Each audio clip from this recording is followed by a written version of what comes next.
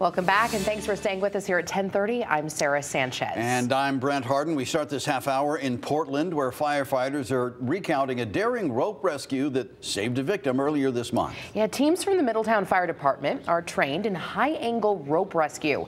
And those tactics might have saved a life. Here's Fox 61's Jim Altman with a story you will only find here on Connecticut's news station atop the Brownstone Quarry in Portland. Sheer rock from where the brush cleared to the water. Fire crews are back on solid ground. Best we could tell, the gentleman stumbled in the darkness, found himself uh, incapacitated on the on the side of the cliff here. But during a call earlier this month, so much was hanging in the balance.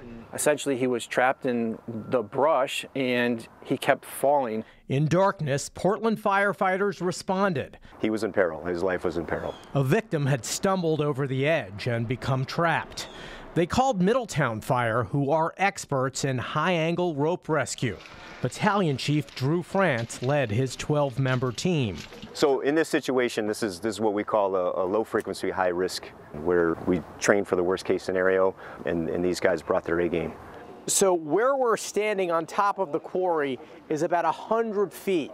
The victim was caught 30 feet below, meaning that a drop into the water would have meant a 70 foot fall, and the victim couldn't swim.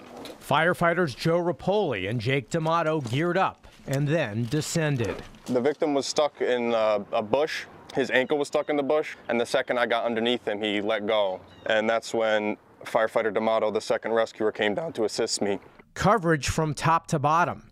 And once they secured a harness to the victim, it was 70 feet to safety. So there was two Zodiac boats, little um, inflatable dinghy boats down in the quarry waiting for us, and we lowered them down into those boats and they carted them off to the shore. Portland Fire was able to assist us with setting up systems. Gentleman was transported to the hospital for non-life-threatening injuries and uh, lived to tell the story another day. Two departments, so many moving parts, and a single objective met. Everyone worked together, everyone worked well, and the outcome was a win. The group effort definitely changed the outcome and was able to save his life, yes. Oh, we were very proud. I mean, it's, it's a great feeling, you know, showing up to something like this and watching your training and dedication um, pay off. In Portland, Jim Altman, Fox 61, Connecticut's news station.